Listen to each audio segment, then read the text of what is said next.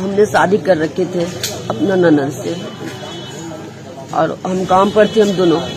हम दोनों काम पर थे उसके बाद उसको बहन आया किडनैप करके ले गया है उसको। वो भी खुश है हम भी खुश है। हम दोनों जिएँगे तो साथ में हम मरेंगे तो साथ में। किनके साथ आप जिएँगे? हम उस लड़की के साथ जिएँगे। कौन के साथ? अपना ननद के साथ। पहले दोस्तों में अतीक अहमद। आज की वीडियो जरा कुछ अलग होने वाली है यानी कि हटके होने वाली है।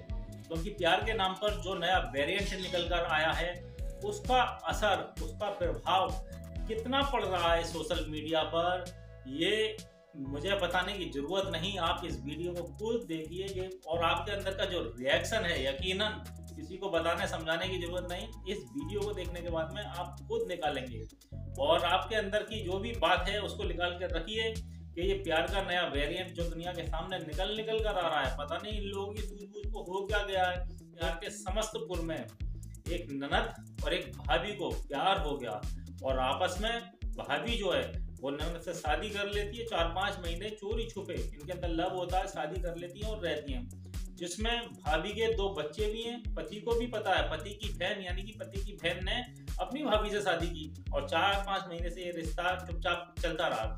जैसे ही इसका पता, घर वालों को पता, घर वालों ने विरोध किया कि बहन, यानी कि उसके पति की पति की बहन की बहन, दूसरी बहन, बड़ी बहन आई और अपनी छोटी बहन को ले गई। इसके बाद जो उसकी बीवी बनी थी, पत्नी की बीवी, यानी कि ननद की भाभी जो आपस में मियाँ बीवी मियाँ बीवी बने थे, उसको ये बर्दाश्त नहीं हुआ, वो थाने गई तहरीर लेके एफ़ आई आर लेकर और उसने अपने ससुरालियों के खिलाफ दोस्तों एफआईआर दर्ज कर दी और अपहरणकर्ताओं का एक इल्ज़ाम लगाया उनको बल्कि मेरी बीवी को, पत्नी को उन्होंने अगवा कर लिया।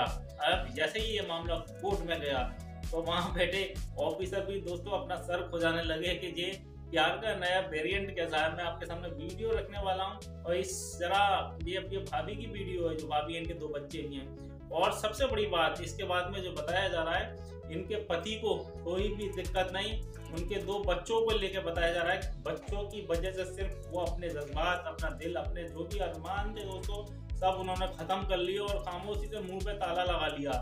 सब कुछ देखते रहे झेलते रहे।